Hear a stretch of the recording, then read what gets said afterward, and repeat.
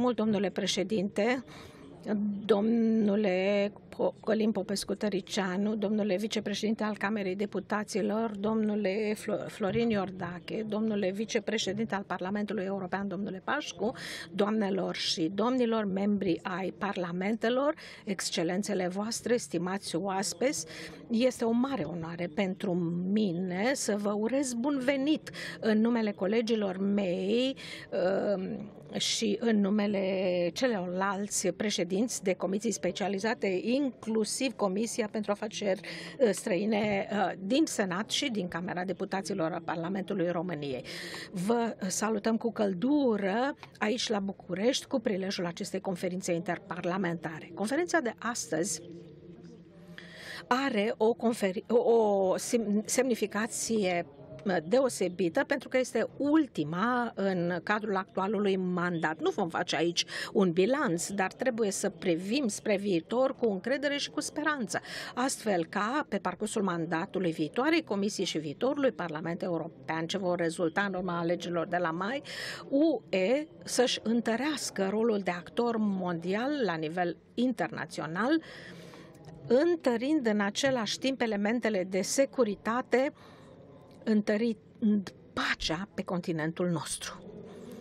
Ne propunem, așa cum am stabilit cu colegii noștri la Parlamentul European, European să vă prezentăm subiecte care sunt importante pentru a discuta în diferitele momente ale reuniunii noastre și de aceea vom începe prin a analiza parteneriatul uh, la Est, pentru că, iată, tocmai sărbătorim 10 ani uh, de la momentul lansării unei politici curajoase, coerente și constructive cu țările vecine în partea de Est a UE pentru a asigura stabilitatea și pacea în regiune. În contextul geopolitic de vecinătate, o să discutăm importanța strategică a Mării Negre pentru a asigura stabilitatea și a mări securi- cu atât mai mult securitatea, având în vedere agresivitatea Rusiei.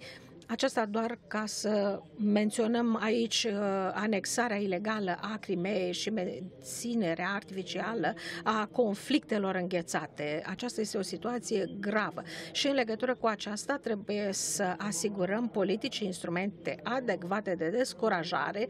Trebuie să propunem să ne asumăm un climat de predictibilitate în această regiune a Mării Negre pe termen mediu și lung.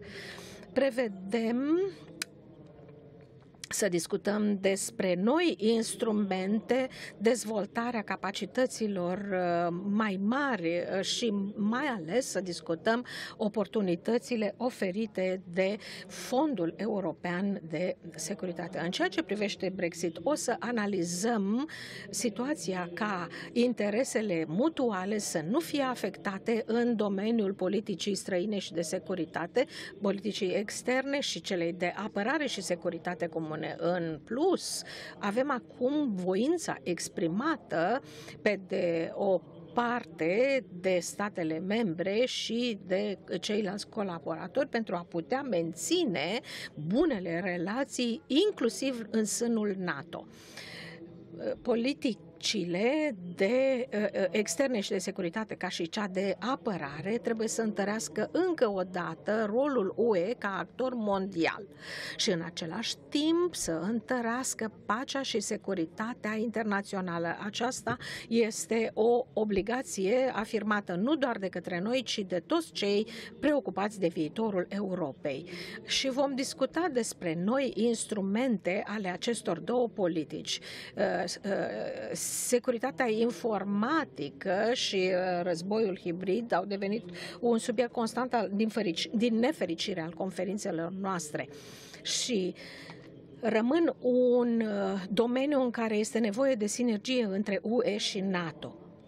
Și nu în ultimul rând o să discutăm subiectele privind Balcanii de Vest, ca la conferința de la Sofia și mulțumesc colegilor noștri de bulgari și conferinței de la Viena, mulțumesc colegilor austrieci, ca și conferința de la București, toate, iată, locuri unde s-au discutat temele acestea ale UE, punând pe primul plan al agendei și acest subiect este o voință clar exprimată aceea de a avea rezultate bune.